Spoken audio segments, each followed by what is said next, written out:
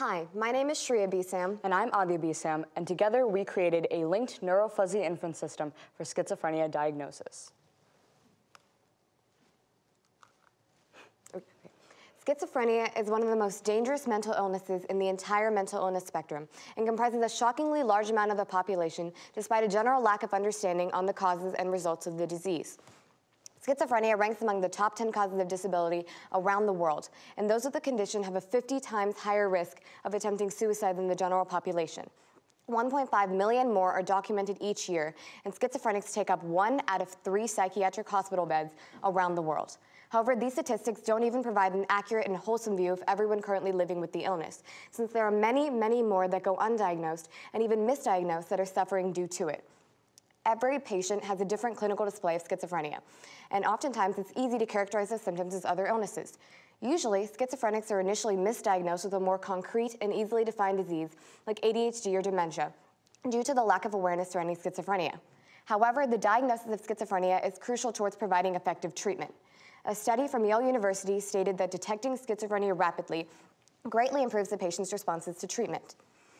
The overall cost of schizophrenia treatment in the United States in 2002 was $62.7 billion, an amount which is no doubt much, much larger today, making schizophrenia also one of the most costly mental illnesses. The cost of treatment could be greatly reduced by an improved detection system, since the longer the period of time before treatment, the worse off the patient's responses are and the more effort is required for recovery. Overall, the diagnosis of schizophrenia is overlooked by the medical community, which causes less than optimal tools to be used. Most past solutions are on opposite sides of the spectrum, either leaning entirely towards the qualitative or the quantitative. Obviously, both sides have their respective advantages and disadvantages. Qualitative analysis, for example, like the PANSS test utilized in our program, mainly requires the diagnostician to observe the patient and eh, arrive at a conclusion by analyzing the patient's responses, and requires a level of subjectivity and therefore a level of uncertainty in diagnosis.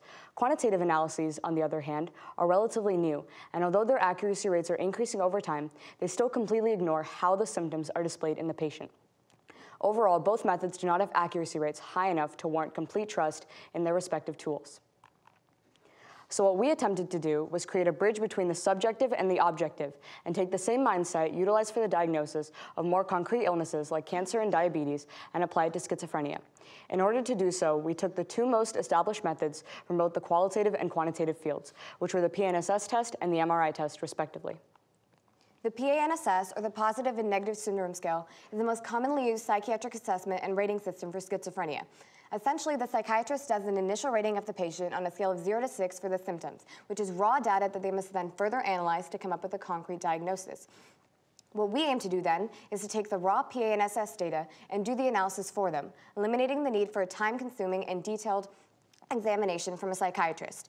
The most recent and effective method for clustering raw PANSS data for further analysis is the pentagonal model. So we clustered our data along the five factors, which are positive, negative, excited, disorganized, and depressed. The MRIs of schizophrenic patients display striking differences to ordinary MRIs. Schizophrenia is characterized by an overall decrease in brain matter, especially gray matter, and an overall increase in cerebrospinal fluid. Gray matter decrease occurs at a rate of 4% to 10% per year, making it the prime factor for observation. Overall, the respective volumes of the brain matter were utilized as a key aspect in our final diagnosis. Fuzzy logic was the cornerstone of our diagnostic tool because unlike Boolean logic, fuzzy logic operates with an infinite number of membership values between 0 and 1, essentially thriving in the gray areas like mental illnesses. Fuzzy logic uses a special type of function called a membership function, and the specific type of membership function utilized in our program was triangular, or TRIMF for short. The way a fuzzy system works is the inputs, which are crisp or numerical, are fuzzified as values onto TRIMFs. All the TRIMFs in the system are then channeled through a rule base um, characterized by if-then statements, the output of which is then placed on an output TRIMF and then defuzzified to denote an overall likelihood. So since this project was done without the aid of a mentor, we utilized a public database to collect our raw PANSS and MRI data called SchizConnect, which compiles databases from universities all around the nation into one site. So the workflow of our project is relatively straightforward, and all the steps lead in the culmination of our final diagnostic tool. So first, we decided to focus on the qualitative aspect of our project, which in our case is the PANSS data. So as stated earlier, we clustered our raw PANSS data along the five pentagonal factors. Then the minimum, maximum, mean, and standard deviation of each of the factors were calculated, and this would form the basis of our triangular membership functions. The PANSS fuzzy system had five inputs, which corresponded with the five pentagonal factors, and each input had three triangular membership functions, low, medium, and high. The output had six triangular membership functions due to the larger number of inputs in this system, which were very low, low, moderate, likely, very likely, and extremely likely. To create the domains for the output triangular membership function, a system of weighted based on importance was created, with the highest weight given to the excited factor, followed by positive, then negative, disorganized, and lastly depressed. The system of weightage was made based on extensive research done concerning the characteristic symptoms of schizophrenia and the factors that those symptoms fell under. Then a list of all the possible output combinations were created to create the rules of our system. Then we moved on to the quantitative aspect of our project, which in our case is the MRIs. MRIs are usually found in a standard DICOM format with around 160 slices of the brain per person. So in order to analyze the MRIs, we converted them from the DICOM format into one 3D NIfTI image per patient. And then the brain volumes of each were calculated because we segmented the brain images using the SPM8 tool into cerebrospinal fluid, gray matter, and white matter. Then the minimum, maximum, mean, and standard deviation were once again found to form the basis of our triangular membership functions. So the neuroimaging fuzzy system had three inputs which corresponded with the three segments, and each input had three triangular membership functions. The output also had only three triangular membership functions due to the smaller number of inputs for the system. To create the domains for these output triangular membership functions, a similar system of weightage based on importance was created, with the highest weight given to an increase in cerebrospinal fluid volume, followed by a decrease in gray matter volume, and lastly, a decrease in white matter volume. Then a list of all the possible output combinations were once again created to formulate the rules for our system. Lastly, we combined both of those fuzzy systems to create our final linked fuzzy expert system. To do so, both the outputs from the PANSS and the MRI fuzzy systems were added as the inputs to a new system, and the final output had six triangular membership functions to allow for an accurate diagnosis, which were very low, low, moderate, likely, very likely, and extremely likely. We then decided to test our Link fuzzy expert system using a testing set that we had put aside. Essentially, we inputted the testing set into the system and checked for appropriate responses. So our linked fuzzy expert system had an overall accuracy rate of 90.57%, which is high in terms of schizophrenic diagnostic tools. However, we felt as though we could improve that diagnostic rate by creating an ANFIS system. An adaptive neurofuzzy inference system, or ANFIS for short, unlike simple fuzzy logic, essentially creates its own fuzzy system by analyzing a set of training data and uses neural optimization techniques to train and optimize the function. The specific type of ANFIS model utilized in our program had three hidden layers. After the inputs were analyzed, the operator t-norm was applied and the antecedents of the rules were calculated, followed by the second hidden layer where the rule strengths were normalized, and the final hidden layer where the consequence of the rules were determined. The final output layer essentially calculated the global output as a summation of all the signals prior to that layer. The optimization technique chosen for our program was hybrid optimization, which utilized a combination of backpropagation and least mean squares method. Backpropagation was used to generate the deltas of the program and modify the program's parameters, while least mean squares method was incredibly useful in eliminating the outliers present in the data amassed from SchizConnect. The outputs were presented in a similar manner to that of the linked fuzzy system, with the PANSS data and the MRI data being inputted to denote an overall likelihood.